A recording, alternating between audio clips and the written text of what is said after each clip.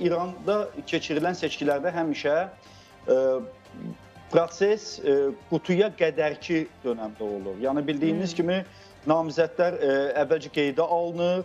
Deməli ondan sonra inqilab keşikçiləri tərəfindən bir daha o namizədlər nəzərdən keçirilir və ondan sonra artıq seçilmiş namizədlər seçkiyə buraxılır. Xatırlayırsınızsa ə, çoxlu sayda ə, namizəd qeydə alınmışdı və onlardan yalnız 6-sı ə, inqilab deməli qurumu tərəfindən, keşikçilər qurumu tərəfindən deməli növbəti mərhələdə seçkiyə buraxıldılar. Cəmi 6 namizəd var idi və birinci turda sonra ikinci tura isə o 6 namizəddən artıq 2 namizəd qaldı. Bunlar ə, Səid Cəlili ilə deməli Pezeşkiyandır.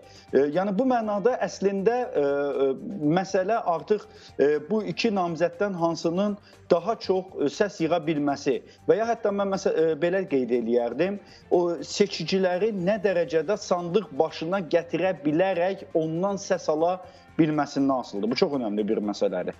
Çünki e, birinci turun nəticələri də onu göstərdi ki, əslində e, İran vətəndaşı e, vəziyyətin seçki yolu ilə dəyişməsinə bir o qədər inanmır.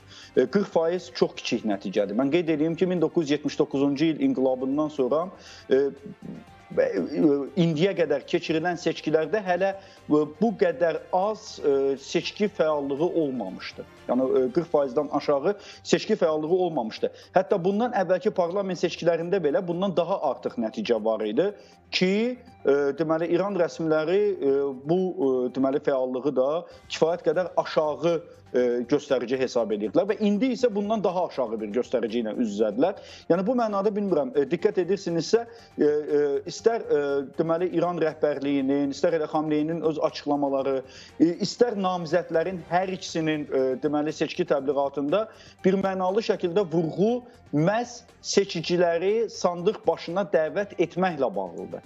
Yəni gəlin seçkiyə səs verin və ə, əgər dəyişiklik istəyirsinizsə, bu dəyişikliyi seçki yolu ilə deməli öz ə, mövqeyinizi göstərməklə həyata keçirdin.